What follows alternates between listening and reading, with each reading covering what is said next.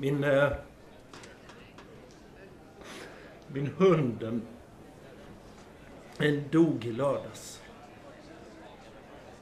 Men han är sig lik. Det, Var ska han begravas? Kista. Vad hände? Han blev påkörd av en bil. Läskigt. Det var veterinären som körde på honom. Ah, det är fruktansvärt. Fatöl? Vi borde åka på semester. Funderar på Riga. Lätt. Vore ballt. Varför är det så blött i baren? Jag tappar ju bara öl. Jag skulle vilja be att få betala. Kort? Betala? Och ska du gå nu? Mjölken går ut.